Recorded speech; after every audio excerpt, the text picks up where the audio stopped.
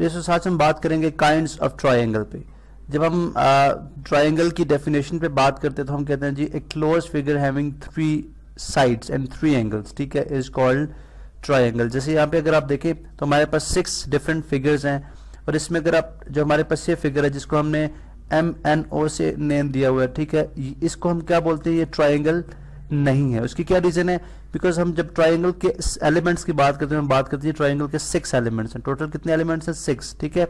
अब अगर आप इसमें देखें तो एक साइड दो साइड तीन साइड तीन साइड मौजूद है, जबकि एंगल्स कितने मौजूद हैं? जस्ट टू तीसरा एंगल इसमें क्या है? मिसिंग है। तो लिहाजा ये हमारे पास क्या होगी? ट्राइंगल नहीं है। चूँकि अगर पॉलीगॉन की डेफिनेशन के मुताबिक भी देखें तो चूँकि ट्राइंगल पॉलीगॉन की एक टाइप है तो लिहाजा पॉलीगॉन के अंदर हम बात करते हैं क्लोज फिगर लेकिन ये जो फिगर है, ये क्लोज नहीं है। तो इसका मतलब है कि ट्राइंगल ही नहीं है, जो कि बाहिर ये ट्राइंगल बनती हुई नज़र आ रही है, लेकिन ट्राइंगल एक्चुअली नहीं है, ठीक है? अब जो बाकी फिगर्स हैं, वो अगर आप देखें तो तमाम की तमाम क्लोज्ड फिगर्स हैं थ्री साइडेड क्लोज फिगर्स हैं तो लिहाजा ये तीन तमाम फिगर्स जो हैं ट्राइंगल्स हैं। जो कि सिक्स एलिमेंट्स को कंप्लीट करती हैं। लेकिन ये ट्राइंगल की किस किस टाइप के अंदर, किस किस कैटेगरी के अंदर आती हैं, उस पर हम बात करेंगे। जब हम ट्राइंगल्स की काइंड्स की बात करते हैं तो हम ट्राइंगल की काइंड्स को दो तरह से डिफाइन करते हैं, ठीक है? एक इन टर्म्स ऑफ़ साइड्स ठीक है? और एक इन टर्म्स ऑफ़ एंगल्स जब हम इन टर्म्स ऑफ़ साइड्स की बात करेंगे तो हम यू बात करते हैं जी कि वो ट्राइंगल जिसकी तमाम की तमाम साइड्स इक्वल इन लेंथ होती हैं। उसको हम बोलते हैं जी इक्विलेटरल ट्राइंगल अब अगर आप देखें यहाँ पे तो हमारे पास जो ये ए प्राइम बी प्राइम और सी प्राइम ये जो ट्राइंगल है, इसके अंदर अगर देखें तो इसकी ऑलमोस्ट तीनों साइड जो है वो इक्वल इन रही है। लेट सपोज़ हम एज्यूम करते हैं कि तीनों की तीनों साइड जो है वो इक्वल इन मैयर है, ठीक है लेंथ में। तो लिहाजा ये हमारे पास क्या कहलाएगी? ये ये ट्राइंगल क्या होगी हमारे पास? इक्विलेटरल ट्राइंगल यहाँ पे मैं इसको लिख देता हूँ जी के इक्वी लैटरल ट्राइंगल ठीक है तो यहाँ से पता चला जी ए डेफिनेशन हमारे पास आ गई कि ऐसी ट्राइंगल जिसकी तमाम की तमाम साइड्स इक्वल इन लेंथ होती है, उसको हम इक्विलेटरल ट्राइंगल बोलते हैं। और इसी तरह एक ऐसी ट्राइंगल जिसकी दो साइड्स इक्वल इन लेंथ होती हैं, कोई सी भी दो साइड्स इक्वल इन लेंथ होती है, उसको हम बोलते हैं जी आइसोसलेस ट्राइंगल अब अगर आप फ़र्स्ट ट्राइंगल को देखें ए बी सी ट्राइंगल इसके अंदर अगर आप देखें तो साइड ए बी जो है, ठीक है साइड ए बी जो है, वो इक्वल इन मैयर है, यानी कॉन्ग्रेंट है ए सी के। ठीक है? तो लिहाजा हम इसको क्या बोलेंगे? आई आइसोसलेस ट्राइंगल इसको हम क्या बोलेंगे जी? ये हमारे पास क्या है? आई सोसलेस ट्राइंगल ट्राइंगल ठीक है? इसी तरह ये भी ट्राइंगल थी, हम ट्राइंगल का सिंबल भी डाल देते हैं आइसोसलेस ट्राइंगल अच्छा अब नेक्स्ट हम बात करते हैं कि एक ऐसी ट्राइंगल जिसके अंदर तमाम साइड्स डिफरेंट लेंथ की होती हैं, ठीक है? कोई भी साइड जो है वो इक्वल इन मेयर नहीं होती, उस ट्राइंगल को हम बोलते हैं जी स्कैलिन ट्राइंगल अब अगर आप ट्राइंगल पी क्यू आर को देखते हैं तो देखें length of P Q P Q जो है, वो डिफरेंट देन क्यू आर है which is different than P R ठीक है, इसका मतलब है तमाम की तमाम जो लेंथ्स हैं, वो आपस में मैयर में मुख्तलिफ़ हैं। ठीक है, इसका मतलब है कि हमारे पास क्या है जी? स्केलिन ट्राइंगल स्केलिन ट्राइंगल ठीक है?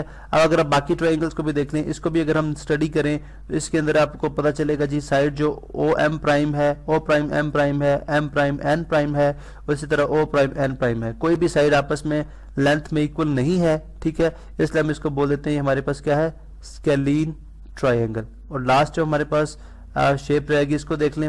अब इसको लेट से लेट से हम अज्यूम कर लेते हैं कि बाहिर मुझे ये स्कैलिन भी लग रही है, चूँकि इसके अंदर जो अगर आप देखें पी प्राइम क्यू प्राइम और क्यू प्राइम आर प्राइम और इसी तरह जो पी प्राइम आर प्राइम है, ये लेंथ्स मुख्तलिफ़ हैं, ठीक है डिफरेंट लग रही हैं, ठीक है, ये हम एज्यूम कर लेते हैं फ़र्ज़ करें मैयर करते हैं और तीनों की तीनों लेंथ जो है वो डिफरेंट आती हैं तो इसको भी हम क्या बोलेंगे, ये भी हमारे पास क्या है स्कैलिन ट्राइंगल है। या अगर वो वो लोग जिनको लेट सपोज़ ये देखने में जो है वो पी प्राइम क्यू प्राइम और क्यू प्राइम आर प्राइम अगर ये लेंथ इक्वल लग रही है तो हम इसको सोशलेस भी कह सकते हैं। लेकिन इट डिपेंड्स कि हम इसको जब एग्जैक्टली मेयर करेंगे तो इसकी साइड्स किस तरह से आएँगी। तो ये थी जी हमारे पास kind of triangle in terms of sides लेकिन जब हम बात करेंगे kind of triangles in terms of angles पे, अब ये वही ट्राइंगल्स है हमारे पास, लेकिन अब हम इनकी, इनको स्टडी करेंगे इन टर्म्स ऑफ़ एंगल्स ठीक है? इन टर्म्स ऑफ़ एंगल हम इनको कितनी कैटेगरीज में डिवाइड करते हैं, इस पर हम बात करेंगे।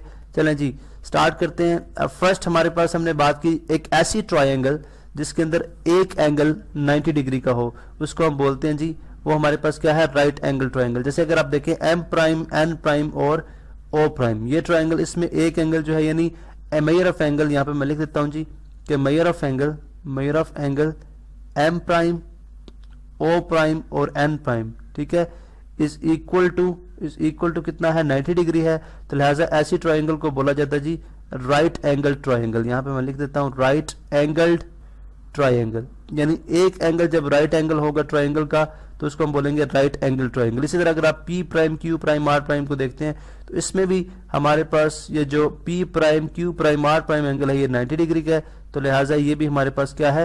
राइट एंगल ट्राइंगल है। और हमने ये भी बात की थी कि स्कैलीन ट्राइंगल भी है। अगर आप इसको देखें तो ये हमारे पास स्कैलीन ट्राइंगल भी थी, ठीक है? इसको हमने स्कैलीन बिकॉज़ तमाम साइड डिफरेंट लेंथ की हैं, ये भी हमारे पास स्कैलिन ट्राइंगल है। इसका मतलब है जो scalene triangle right angle triangle हो सकती है या right angle triangle scalene triangle भी हो सकती है, ठीक है?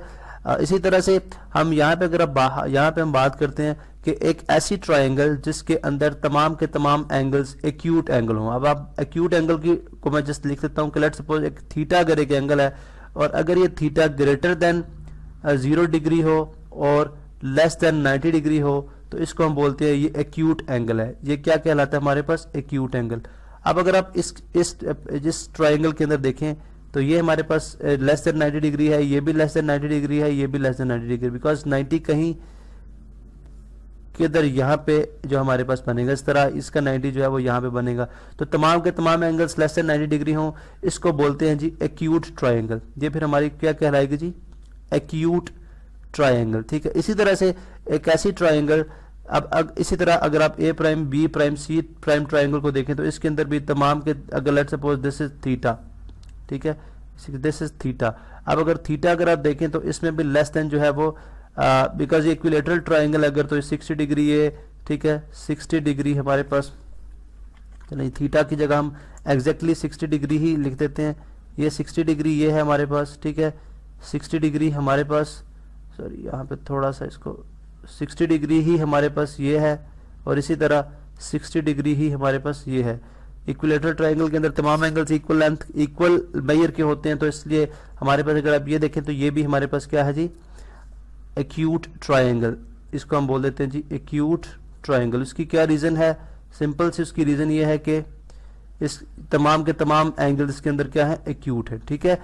इसी तरह से अगर आप इस ट्राइंगल को देखें, एक ऐसी ट्राइंगल जिसके अंदर एक एंगल ऑप्ट्यूज हो। अब ऑप्ट्यूज एंगल क्या है? उसको हम डिफाइन करते हैं, यानी अगर थीटा ग्रेटर देन थीटा एक एंगल है, जो कि ग्रेटर देन 90 डिग्री है, और लेस देन जो है वो 180 डिग्री है, उसको हम क्या बोलते हैं जी? ऑप्ट्यूज एंगल ठीक है? तो अब अगर आप देखें तो हमारे पास ये जो एंगल है, जिसको हम पी क्यू आर से कह रहे हैं, ये ऑलमोस्ट अगर मैं रफली लिखूं तो 110 डिग्री का हमारे पास ये एंगल बनता है। अब ऐसा एंगल जो ग्रेटर देन 90 डिग्री होता है, उसको हम क्या बोलते हैं जी? ऑप्ट्यूज एंगल तो एक ऐसी ट्राइंगल जिसके अंदर एक ऑप्ट्यूज एंगल हो, उसको हम बोलते हैं ऑप्ट्यूज ट्राइंगल यहाँ पे हम इसको मेंशन कर देते हैं जी। ऑप्ट्यूज ऑप्ट्यूज ट्राइंगल ये भी हमारे पास क्लियर होगी बात, ठीक है? अब नेक्स्ट अगर आप देखें तो आ, अब यहाँ से हमें ये भी बात समझ में आती है कि इक्विलेटरल ट्राइंगल एक्यूट ट्राइंगल हो सकती है ठीक है? इसी तरह यहाँ पे अगर आप देखें तो ये हमारे पास स्कैलिन ट्राइंगल थी ठीक है? स्केलिन क्योंकि इसकी तमाम की तमाम साइड डिफरेंट लेंथ की थी तो स्केलिन ट्राइंगल ऑप्टिवस ट्राइंगल भी हो सकती है। तो ये थी हमारे पास three different types of triangle with respect to angles और हमारे पास टॉप में हमने स्टडी किया जी three different types of triangle with respect to variation in sides ठीक है?